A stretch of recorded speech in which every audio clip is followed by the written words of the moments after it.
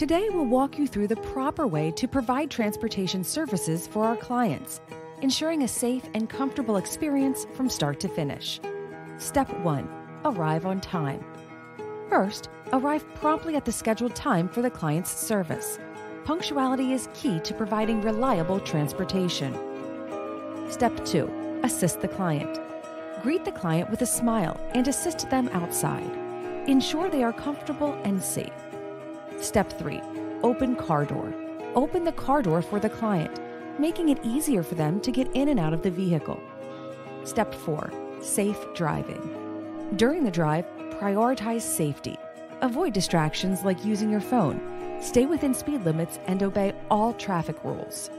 Step 5 Arrival at destination. Upon arrival, escort the client into the building. Wait with them at reception and assist with the check in process. Step 6 Waiting patiently.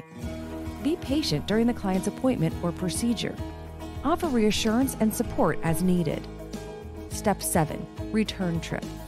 After the appointment, assist the client back into the vehicle.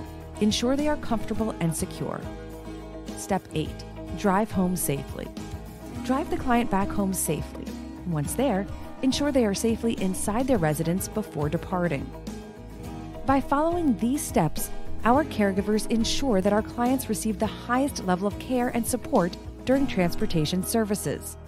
At Alice Care, we prioritize safety, reliability, and compassion in everything we do.